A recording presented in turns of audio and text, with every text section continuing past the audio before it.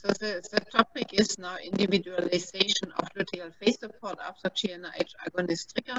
I mean, Dr. Saleh already informed you very elegantly and uh, in in a good extent regarding the luteal phase, important on the luteal phase. So now we are looking into the specific case of how do we do a luteal phase support after GnRH agonist trigger.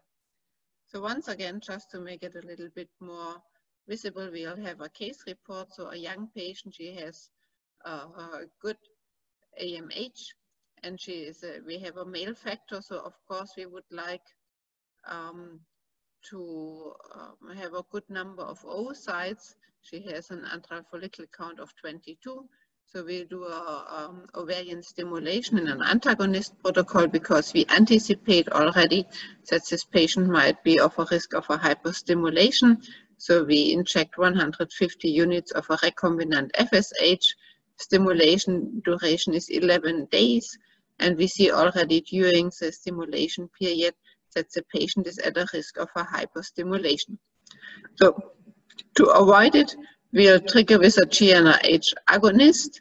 We have 35 oocytes collected and thankfully due to the application of the GnRH agonist, we have no free fluid in the uh, Douglas pouch.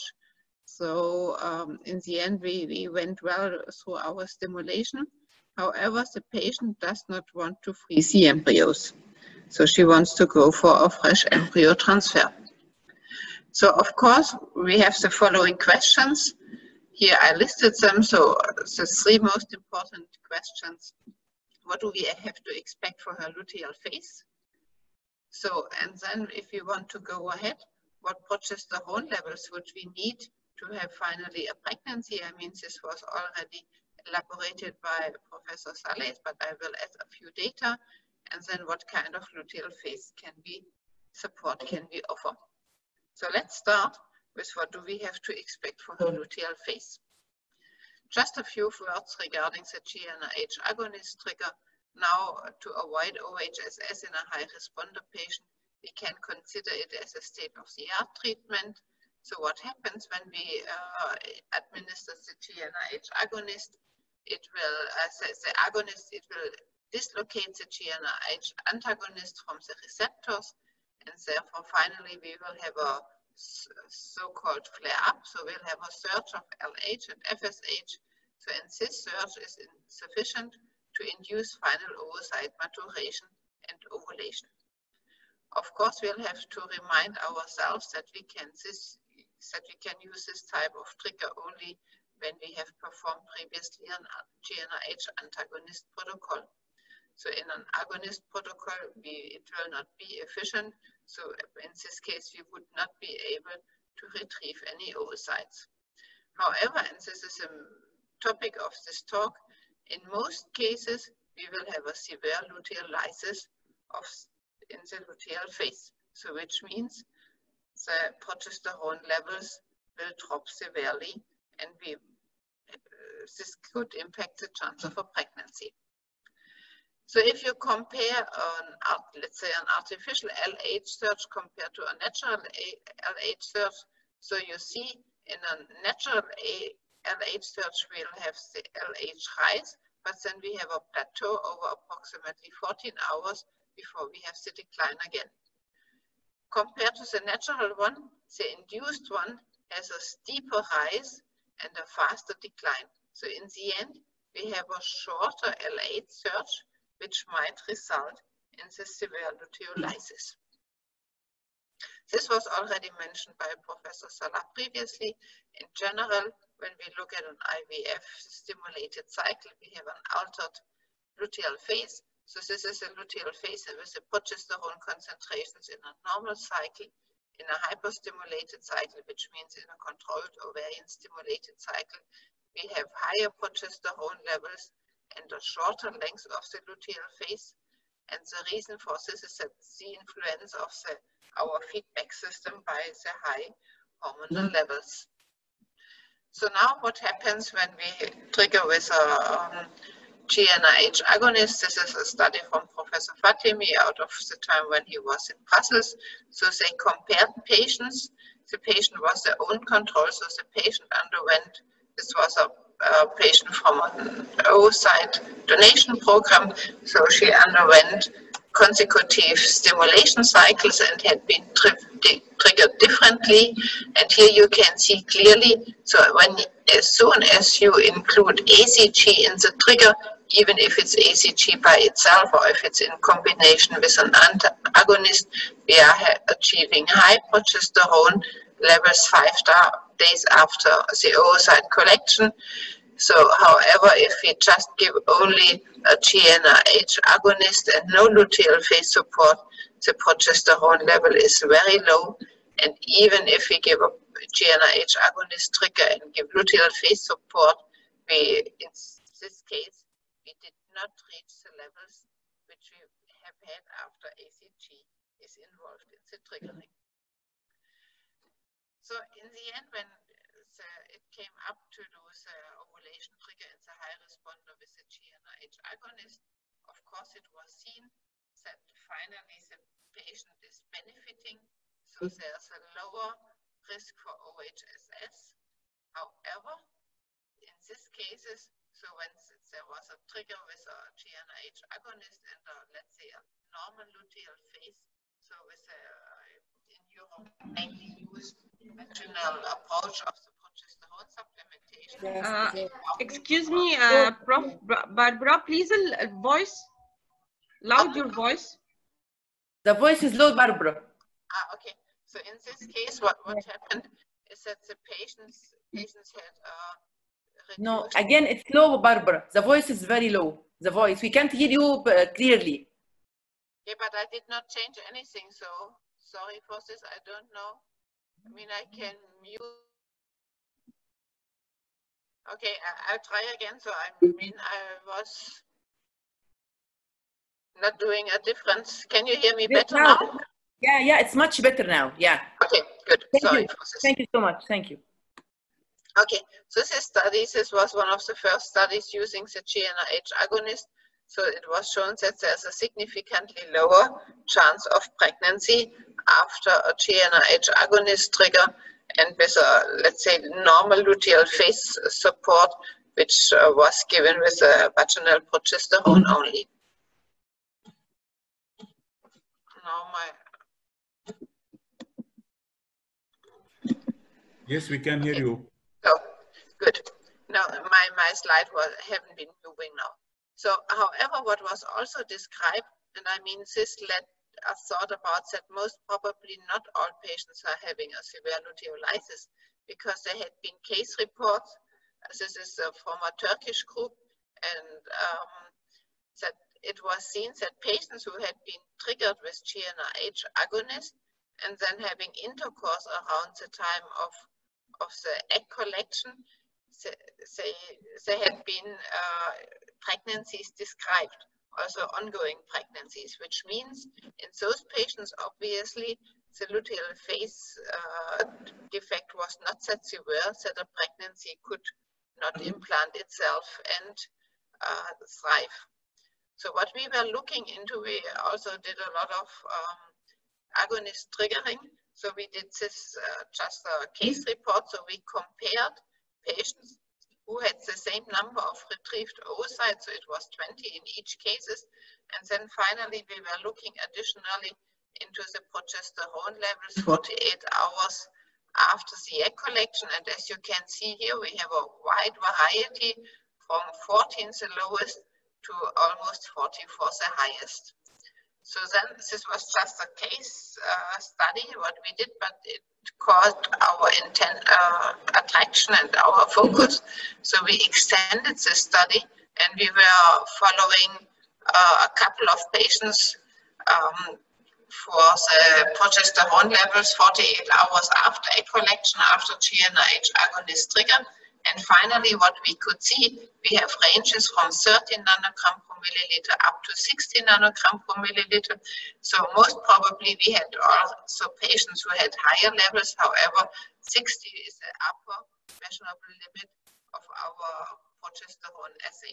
So I mean, this was so we could not see, for example, if a patient would have had a level of 80 nanogram per milliliter, but it was in this study seen that we have a wide variety. So the question is, of course, what progesterone level do we need to achieve a pregnancy and to sustain pregnancy? Also here we were looking again into a, a few of our patients who had an agonist trigger and then at this time we still did fresh embryo transfers. So we did what we, we added hCG and we can see that the lowest pregnancy, uh, lowest progesterone levels which still achieved a pregnancy had been 12, 13, 14 nanograms per milliliter. So obviously, uh, also in those cases, this was a progesterone level 48 hours after the egg collection. So this does not seem to be uh, exclusion that no pregnancy can be reached. So when we look now at the ways how we can trigger, we can see clearly if we give just only a GnRH agonist trigger without any luteal phase support, for sure this will be uh, below uh, the level which is needed, uh, the progesterone level. Barbara, please, the voice is low again. Can you? Uh, yeah, but I'm not, I'm not changing anything, so this is a technical effect. To be honest, I, I can mute and unmute again. Okay, okay. Um, this I can. You need, everyone wants to hear you, okay? yeah, I, I, I just don't know what I, I, am not changing anything. Okay, now, now it's better. Now it's better. Good. Okay. So uh, in the end, of course, the question is, and this would be also subjected to to a greater amount of patients to see which levels we really need to have a sustained pregnancy.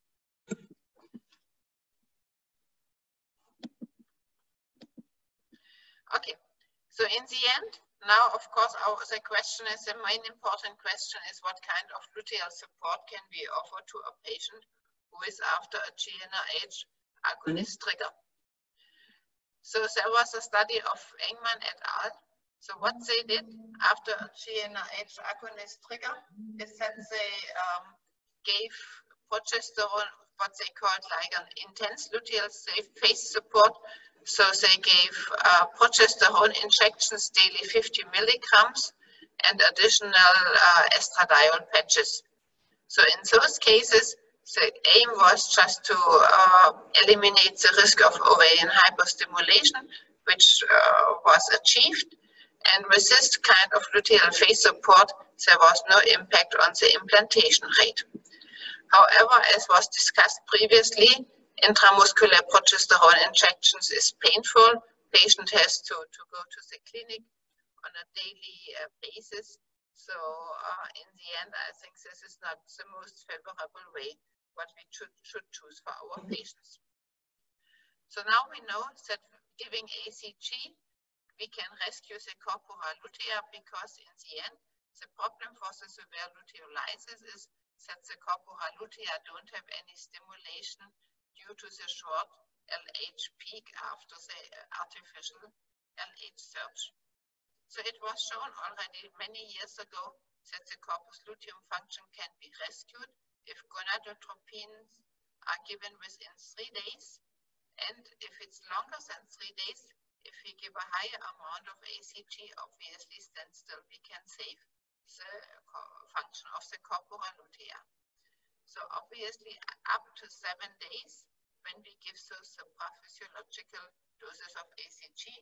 However, we'll have to take into account that we are having a risk for hyperstimulation in these patients. So the group of Humaidan uh, developed a project that they, uh, a protocol that they triggered with a GnRH agonist, and then 35 hours later, they gave additional hCG to rescue the luteal phase. However, with this approach, they have also seen, uh, well, the good thing is that the um, pregnancy rates had been the same. However, other groups had described a severe uh, early hyperstimulation syndrome with this approach. So uh, Professor Iman published a study where it was combined So uh, two groups had been compared, one group with a, let's say, conventional approach to give a trigger with 5,000 units hCG compared to a GnRH agonist trigger and then 1,500 units afterwards. And additional, the intense uh, luteal phase support. This is described here. So, and in the end, the good thing was that with this approach, we can achieve the same clinical pregnancy rate with agonist trigger and then the combination of intense luteal phase support and low dose hCG compared to only hCG. Now we are coming to the concept of luteal coasting. So the idea is this was developed by the group from Shahar Kol from Israel. So the idea is it's a GnRH agonist given for final oocyte maturation. And then it's a control of the estradiol and the progesterone levels. And hCG is administered when the progesterone levels fell below 30 nanomole per milliliter, which is approximately around 10 nanograms per milliliter. And they could show that they have usually, uh, this bolus was given like on day three after egg collection, just only uh, one patient had like a very fast luteolysis.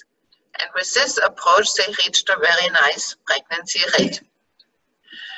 So we modified this concept a little bit in our uh, setting so that we just individualized according to the progesterone levels and according to the number of the oocytes retrieved. And in this uh, individualized uh, concept, we could show that we can sometimes even reach with an even lower amount of hCG that we have a nice pregnancy rate. So in some cases, we even uh, administered only 375 units of hCG. But of course, this was um, depending also or mainly on the progesterone level on the two days after the um, collection.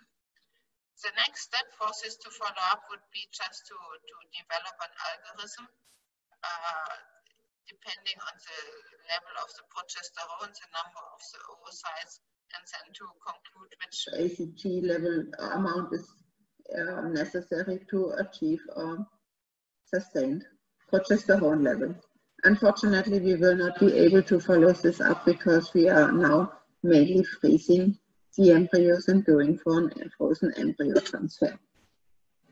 So what I want you to take home out of this lecture is that it's good to have this tool of a GnRH agonist trigger because we can reduce the risk for patients, for high responder patients to develop this potentially life-threatening complication of an ovarian hyperstimulation syndrome. However, we have to keep in mind that this might cause a severe luteolysis. So the luteolysis can be counterbalanced by an intense luteal phase with IM progesterone injections and estradiol patches.